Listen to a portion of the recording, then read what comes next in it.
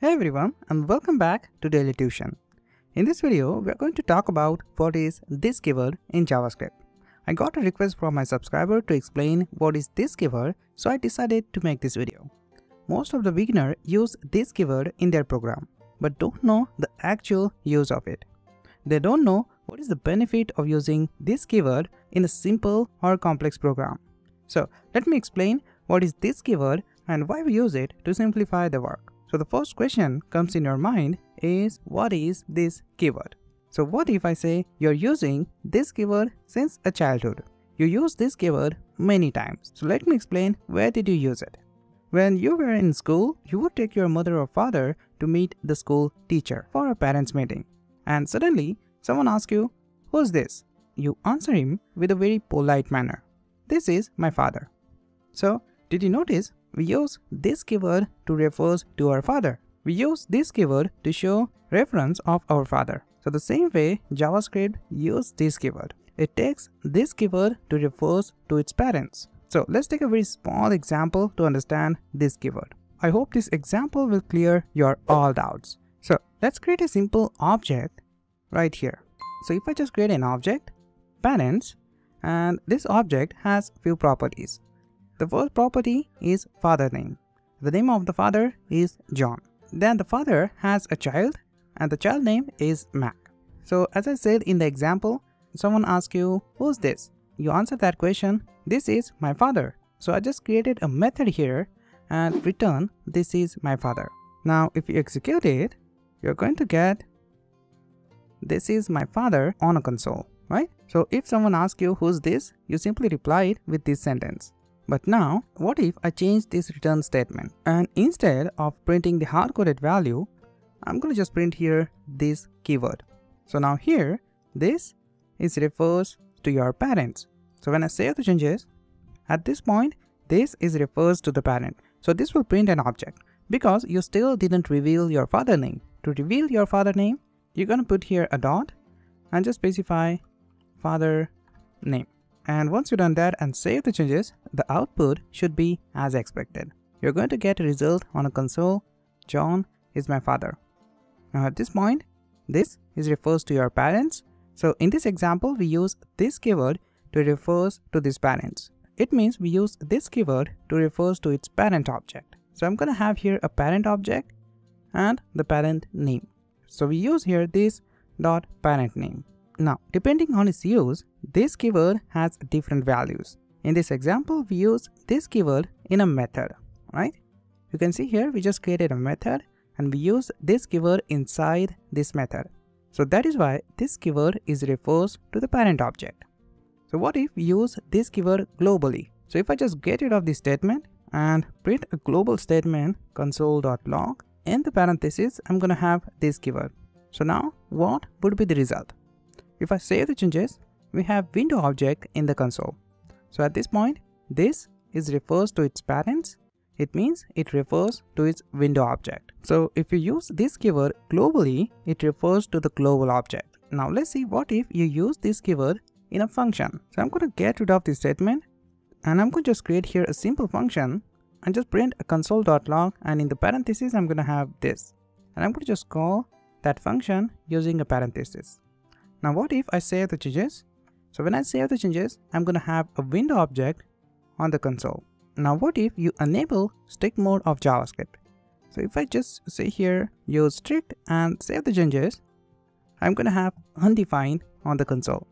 So there are various ways to use this keyword. So I'm going to just get rid of this use strict and just save the changes. So we have here a window as a parent of this keyword.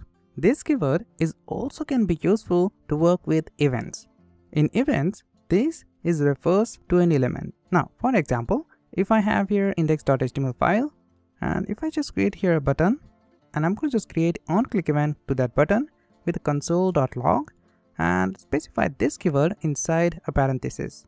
What happened when I click on this button? Let me just save the changes and as you can see we have this button here. I'm going to just get rid of this statement. Now what happened when I click on this button? When I click on it, I'm going to have an element on the console. So at this point, this is refers to an element, right? So this is also a very useful way to use this keyword. So as I said, there is various way to use this keyword depending on its use. Once we know that how to use this keyword, let me explain why should we use it in a simple and a complex program. So to understand how this keywords is useful, we're going to take a very simple example. So as you can see, I have here a simple function car and I'm going to just return this dot name. So at this time, I'm going to create a property name of this keyword. So when I save the changes, you can see I don't have anything here because inside this name property, I don't have anything. So if I just get rid of this name and execute the program, I'm going to have a window object on the console. Now we have the global object here inside this keyword. Let me just create a property to this window. So I'm going to say here name. So we're just going to create a name property to this window object. When I save the changes, I'm not going to get anything here because we don't have any value to this name property. So let's specify something to this name value. So I'm going to create here a variable let name is equal to, I'm going to specify a string value BMW. And when I save the changes, I'm going to have that value on the console. So this will print BMW on the console. So we just specify a name property to the global object. Now, if you just take a look at the global object, you're going to get this name property to that object. So if I just simply get rid of this car and just specify here this, then you will see you have a global property name to your window object. So if you just take a look at the window object, you can see here, you have this name property here, right? Now, just out of that, I'm going to just get rid of this keyword from the console and just paint a car here. What if I want to change the reference of this keyword? So at this point, this is refers to the global object. I want to change this global object and specify my own. So just after this variable, I'm going to create here two objects. This is my first obj1 and I'm going to have here a name property and a car property. And this car property has a function, right? And just after that, we're also going to have object 2 with the name property Tesla and I'm going to have a car property with a function reference. Now what I want, I want to change this global reference and specify my own object. So I'm going to just specify my own object right here. So if I just say here obj1.car, so I'm going to execute this car function using this obj object, then what would be the result? When I save the changes, you can see I have this Audi on my console. Now, what is happening here? So at this point, this keyword is refers to the object 1. Now what if I change this object 1 to object 2? Like this. And when I save the changes, I'm going to have Tesla on the console.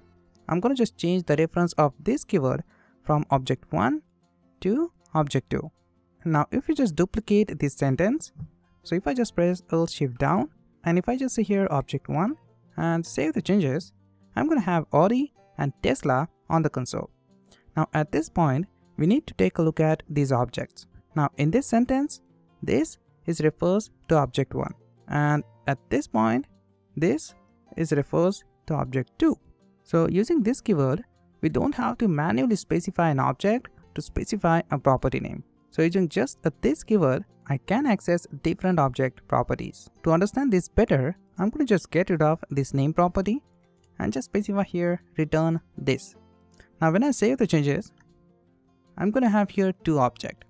Now at the first line, you can see this is refers to the first object. And the second line, you can see this keyword is refers to the second object. We don't have to specify object manually.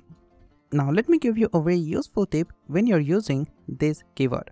Now whenever you use this keyword and you don't know the reference of this keyword, just simply put a console.log and inside it just type this. Using this sentence, you're going to understand the reference of this keyword. Once you know the reference of this keyword, you can find error-free code.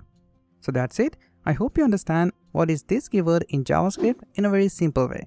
I hope you like this video, so don't forget to like and share it. Subscribe for more latest videos. If you have any question, ask me in the comment. That is all for now. I will see you in the next one.